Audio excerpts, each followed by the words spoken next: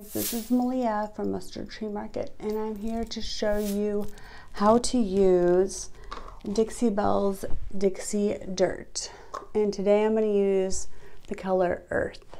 So I painted this in Dixie Belle paint and then I went in with Dixie Belle Easy Peasy Spray Wax. I just lightly mist the whole thing and then I take the Belle brush and I just spread it over it. And I'm going to use the Dixie Belle French tipped and I'm going to just dab it in there and I'm going to tap it on the side. Okay, so you shake off the extra and then I'm just going to put it on the piece and the wax makes it adhere and they have different colors of this so I'm using the earth because that's what I'm thinking is going to look best with this lighter tone.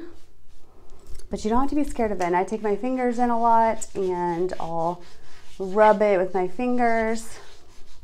And kind of like the waxes, if you put a little bit of Easy Peasy Spray Wax on a shop towel, you can rub it back if you need to. So if you got too much, that's fine.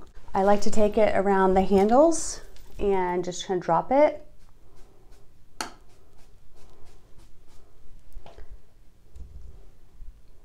Like that.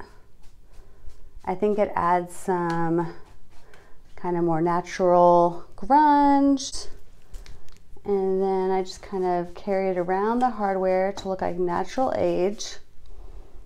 And then I think across the edges of things looks really natural.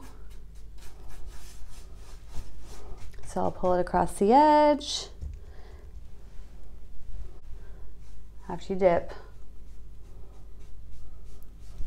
And then I like to smooth it out with my fingers, my fingertips.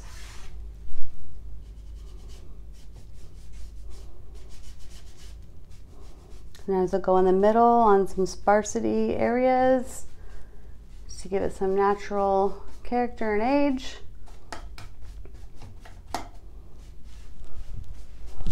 And then look at the difference in that. It gives you a really cool, different look, kind of grungy, some age.